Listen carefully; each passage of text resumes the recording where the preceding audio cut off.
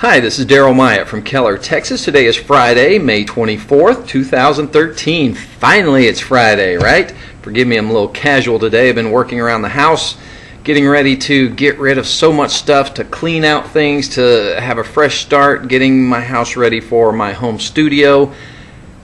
It's exciting, very exciting times. Anyway, this channel is all about world news, Bible prophecy, and end time events. And with that in mind, let's have a look at what's going on around the world today. Here's a story out of Religion Today. Did you hear what the Pope said? The Pope said atheists are redeemed by doing good. This was the Pope that said this. Pope Francis caused a stir this week when he declared during his homily at Wednesday Mass in Rome that everyone was redeemed through Jesus, including atheists. The Huffington Post reported this. Francis emphasized the importance of doing good as a principle that unites all humanity and told the story of a Catholic who asked a priest if even atheists had been redeemed by Jesus. Even them, every one, the Pope answered, we all have the duty to do good. The Lord has redeemed all of us, all of us with the blood of Christ, all of us, not just Catholics, everyone. Father, the atheist, even the atheists, everyone. We must meet one another doing good. But I don't believe, Father, I am an atheist. But do good. We will meet one another there. Do good. The Pope is saying everyone is redeemed by Christ, even those who don't believe in him. What do you make of that? Is that not false teaching? Is that not another gospel? The Bible tells me that only those who be- believe upon Jesus Christ and call upon his name will be saved if you don't call upon the name of Jesus as your Savior, how can you be redeemed? Atheists can't be redeemed. They can be redeemed if they repent of their sins and ask Jesus Christ into their lives as their Lord and Savior and their King, but by refusing to believe in Him, that's actually blasphemy of the Holy Spirit, is it not? Doesn't the Bible call that the only unforgivable sin? the Pope, one who you would think would know the truth. But does he really? We're talking the Pope. You know, I have always been of the mindset that a future Pope would probably be the false prophet spoken of in Revelation. And please, my Catholic friends, don't, don't bash on me for this. I'm not bashing your religion even though it's not your religion that saves you, it's only a relationship with Jesus Christ that can save you, not your religion. But the false prophet would have to have a powerful position, a, a, a, a position of authority, one who was looked up to as being someone who knew, right? Here's the Pope saying everyone is redeemed, even the atheists. I'm sorry, that's not what my Bible or my Savior teach me in the Holy Scriptures. Um, here's a story out of the Washington Post a surprising map of where the world's atheists live. Now, keep in mind, atheists do not believe in God. They believe we're just random acts of accidental creation, that we were created out of nothing, by nothing, and became something. Pope Francis' pronouncement that God has redeemed us all, even the atheists, surprised both believers and non believers around the world who are used to stricter edicts from the Catholic Church. It also got people wondering where the world's atheists live. Now, there's surprisingly little data available on this subject, but a 2012 poll by WIN Gallup International an international polling firm that's not associated with the DC based Gallup Group, asked more than 50,000 people in 40 countries whether they considered themselves religious, not religious, or convinced atheist. Overall, the poll concluded that roughly 13% of global respondents identified as atheists, more than double the percentage in the United States. The highest share of atheists is in China 47% faith has a very complicated history in China. The state is deeply skeptical of organized religion, which it has long considered a threat to its authority. So, uh, Japan has 31% that call themselves atheists. Okay. Uh, where else? Nationalism in Germany, a bit of post war taboo has developed around religion. Um, let's see, Saudi Arabia, where 5% say they're atheist. Let's see, there's other areas, but China has the biggest amount. Uh, let's see. Italy, a stone's throw from the Vatican chapel where Pope Francis spoke on Wednesday, the Catholic Church has little to fear. Despite a gradual slide in Catholic baptisms in Italy over the past several decades, nearly three fourths of Italians consider themselves religious. Interesting. So, China, biggest grouping of atheists. In fact, on the map, it's the only darkened area between 40 and 50 percent. China. Uh, and then there is Japan that has between 30 to 39 percent. America is in the 5 to 9 percent range. Interesting. Atheists, let me just tell you something. God loves you. Jesus died on the cross to save you as well. All you have to do is believe this to be true and believe that God raised him from the dead, just like Jesus said he would. Because let me tell you something, Jesus Christ is coming back again. Right now he's preparing a place for us. Said in my father's houses my father's house are many mansions. I go and prepare a place for you. And if I go and prepare a place for you, I will return. I will come back. How's the peace process going in Israel? Out of Yahoo Kerry's focus on peace talks, not settlements. Really? Because this story tells me he's more focused on settlements. I'm kind of confused by the headline that says Kerry's focus on peace talks, not settlements.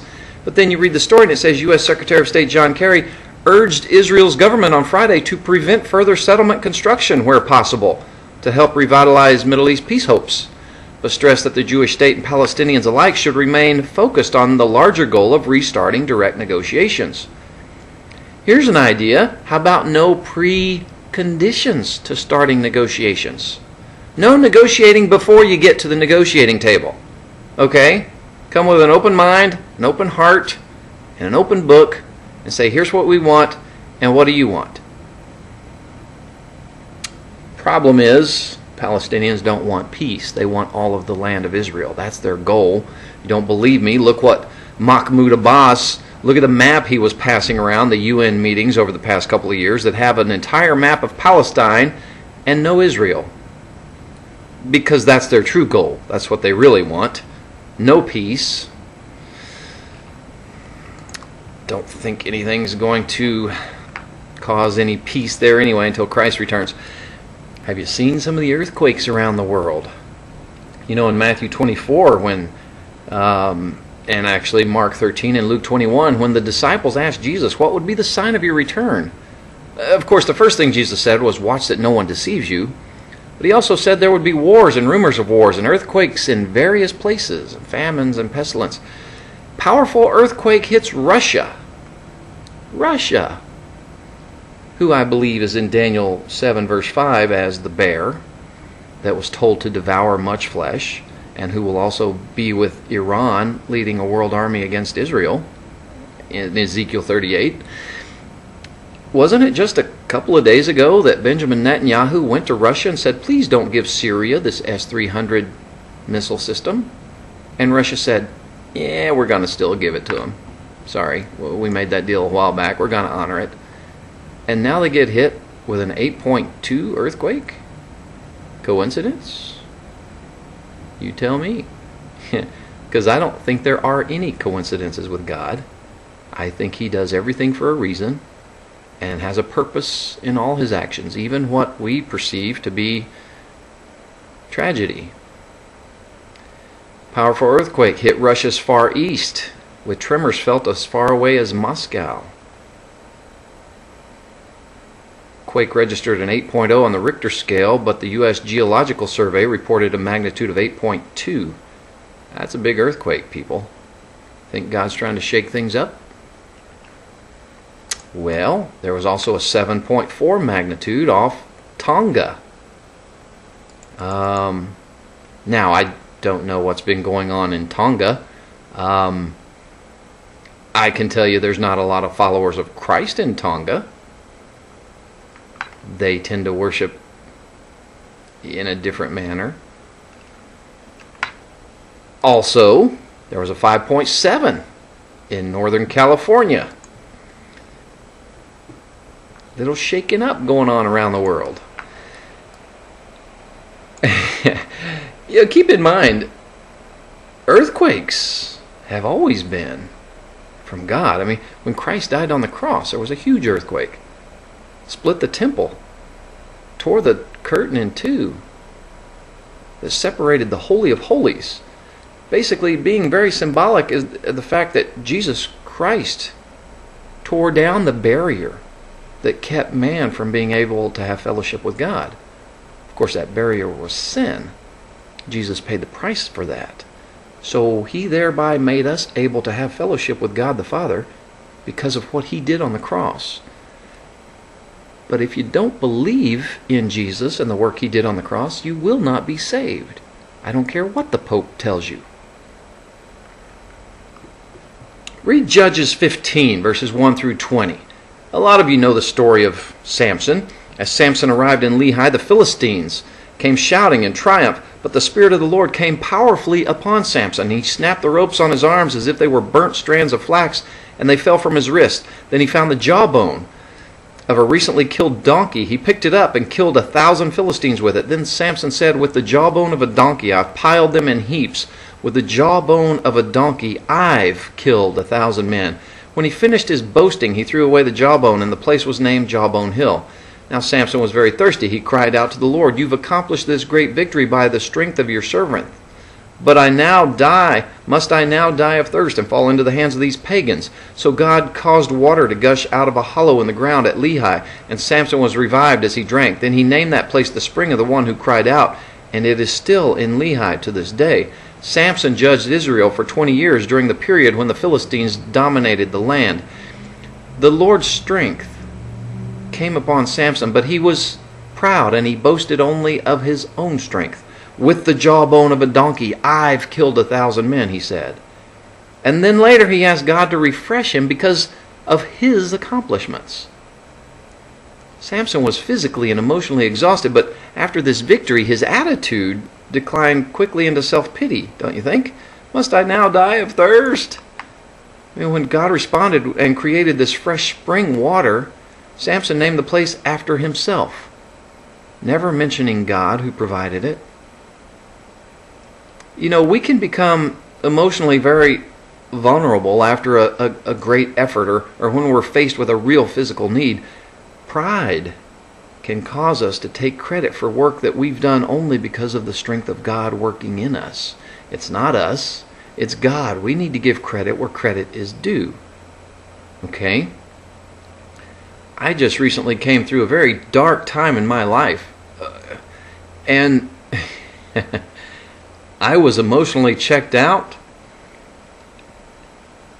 and was actually moving in a completely different direction. And then God caused me to swallow my pride. And everything that happened was because of God and the Holy Spirit working in me. It wasn't me at all, because me and my weak self and my pride was ready to foolishly do something else. And I think we need to be careful of pride. Pride tends to step in and tell us, oh, you're doing good. Oh, you're fine. Oh, your abilities are so amazing. You know, I think the devil likes to trick us with pride. He knows where we're weak, and he'll play on our weaknesses. Don't ever think he doesn't, because he does. I think during these times we need to avoid the temptation to believe that God owes us something for our efforts because it was God's strength that gives us victory, certainly not our own. We need to make sure that we give God all the credit. You know, do you ever feel like God owes you something for all the sacrifices you've made for Him? You know, do, do you resent God for not rewarding your hard work or your service sometimes? I think we all know that God doesn't owe us anything. Um, but maybe you still feel unappreciated. Maybe maybe you serve somewhere and you feel like your efforts go unnoticed, or you feel like nobody seems to see all that you've sacrificed to do what you do. Sometimes we need to take time and, and step back from our service and allow God to refresh us. You know, God wants you to be refreshed, just like Samson. He cares about our needs, our desires.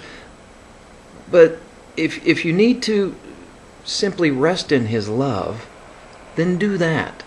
I mean, even I have to take time off from doing this daily ministry.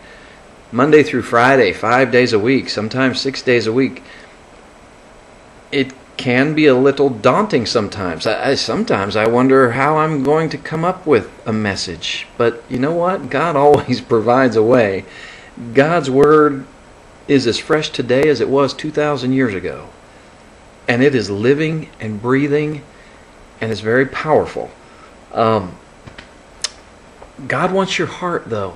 He wants your heart. So if your service to God is taking you away from loving God, something needs to change. Okay? We all need to serve. We're all called into service. But make sure you're doing it for the right reasons and with the right heart and with the right attitude. And make sure that you know it's not you, it's not me, but Christ working in me. Okay? Luke 24, 47 in the New Living Translation says, With my authority, take this message of repentance to all the nations, beginning in Jerusalem. There is forgiveness of sins for all who turn to me. These are the words of Christ. Here's some other words of forgiveness from the Bible Matthew 6, 14 and 15. For if you forgive men when they sin against you, your heavenly Father will also forgive you. But if you do not forgive men their sins, your Father will not forgive your sins. 1 John 1, verse 9 If we confess our sins, he is faithful and just and will forgive our sins and purify us from all unrighteousness. How about Isaiah 43, 25 through 26? I, even I, am he who blots out your transgressions for my own sake and remembers your sins no more.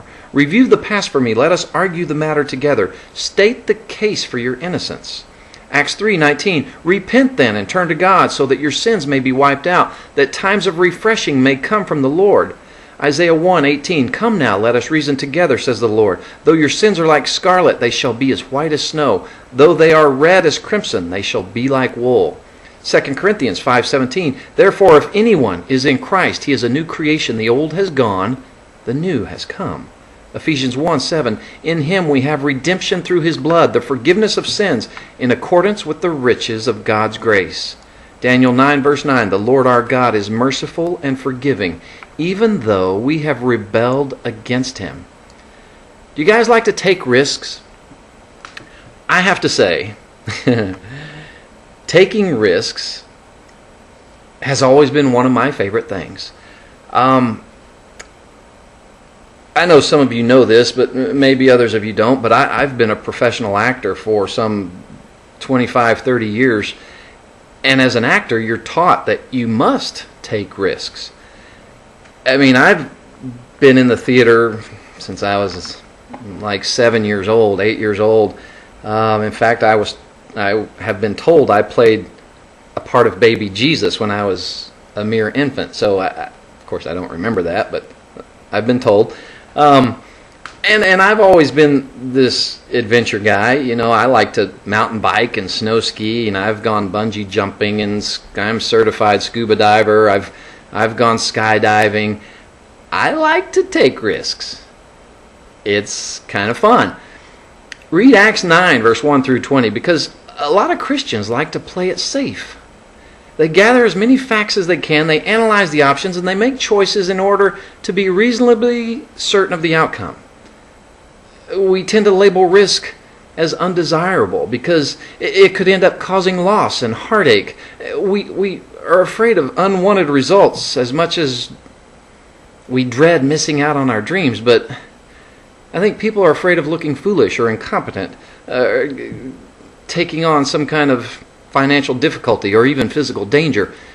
But from a human viewpoint, eliminating uncertainty makes sense, right? I think so. But what's God's perspective? Are, are there times that Christians are supposed to take risks? I think the answer is a resounding yes. We must. When He's the only one asking us to step out of our comfort zone, because from the Lord's viewpoint, there is no uncertainty. Because he has control over all things and he'll never fail to accomplish his good purposes. Ephesians 1, verse 11. The Bible's full of people who took risk to obey the Lord. One was Ananias. God sent to minister to the newly converted Saul. Ananias risked his reputation and his life to comply. Another was Saul himself. He was told to preach to the Jews the very gospel that they had violently opposed. By focusing on God, His character, and His promises, both men obeyed despite uncertainty, doubt, fear, and the risk to their own lives. I think spiritual maturity is kind of hampered when Christians refuse to obey God, don't you? Sometimes that involves leaving what's safe or familiar. You know, getting away from the shore and out into the middle of the deep water where the waves roll and the winds howl. Taking a risk. What risk might the Lord be calling you to today? I think he understands your, your wariness, but he'll never let you down. He'll never lead you to something he won't lead you through. So step out in obedience and watch what he does with your faith. Take a risk. You know, here pretty soon it's going to be a risk to say Jesus Christ is the only way to God the Father. It's going to be a risk to say Jesus Christ died on the cross to save you from hell and he rose again. It's going to be a risk to say Jesus is the way, the truth, and the life. Are you willing to take a risk at that point? I think God has been training me my entire life to serve Him completely and wholly with all that I am and all that I have, and I'm ready to take the biggest risk of all to proclaim Jesus Christ to a world that doesn't want to hear it and to a world that violently opposes the truth of God's Word. I'm ready for that risk. I'm committed. I'm fully ready to do all that God has called me to do. Galatians 1:10 For do I now persuade men or God or do I seek to please men for if I still pleased men I would not be a bondservant of Christ. You know this is one of the signs of our modern time. There's a lot of people that are guilty at merely nibbling at the truth of the Christian gospel. They don't fully grasp the whole meat of it. You know, think about the ways that preaching the Word of God is being pulled down to the level of the ignorant and the spiritually obtuse and those who don't really fully grasp the gospel. It seems like we have to tell stories and jokes and entertain people and amuse them in order to have a few people in attendance at church these days. You know, I think some people do these things because of their reputation and so that there will be money in the treasury to meet the church bills. I think a lot of churches, Christianity's been watered down until the solution is so weak that if it were poison, it wouldn't hurt anyone. And if it were medicine, it wouldn't cure anyone. I think we need to get into the full gospel truth. All the promises of God. Repent of our sins and accept Jesus Christ as Lord, Savior, and King because He's coming back, people. And we don't want to be found unworthy when He returns. We don't want to be found sitting around doing nothing. We need to watch and pray. We need to serve until He returns. We need to do the work for Christ until that time. Lord, don't ever let me be guilty of watering down the truth or playing to the crowds or being concerned about my reputation or what people might think of me. Let me serve you fully with a heart for you, Lord. I want to have a heart for you, Father. I want to serve my Savior well until the day I see him. Revelation 5 talks about a helpless lamb, but this helpless lamb turned out to be the mightiest of all the creatures. Revelation 5 4, I wept and wept because no one was found who was worthy to open the scroll or look inside. There's images of Jesus all over Revelation. And one way to study the book is to, to follow a single image throughout.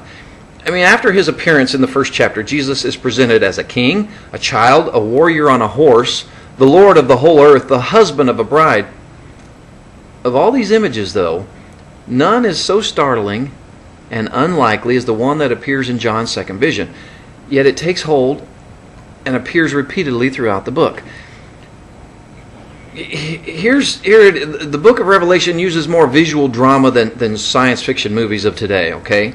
There's lightning flashes, the sky growls, and creatures encircle this lofty throne. Four of the creatures in Revelation 4 6 seem to symbolize the most impressive of all creation.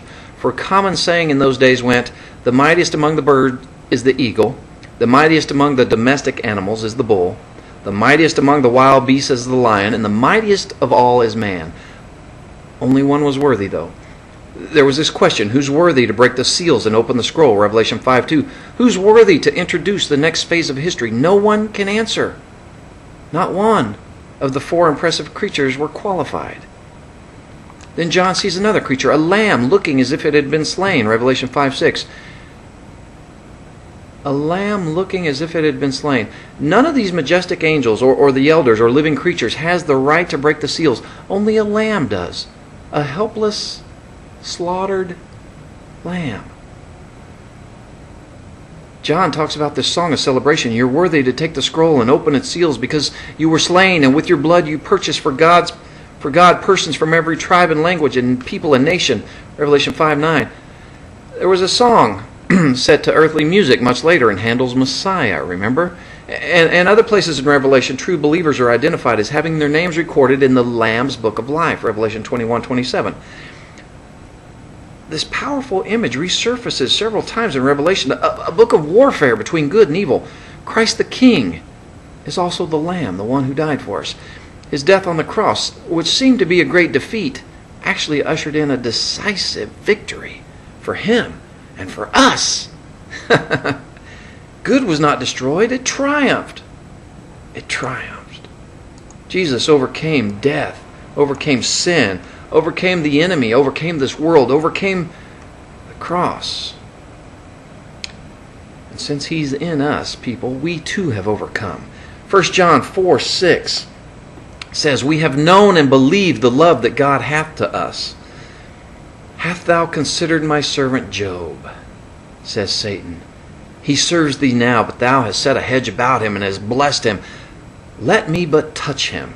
Now he's come down to you, and he has afflicted you in your estate, afflicted you in your family, and at last he's afflicted you in your body.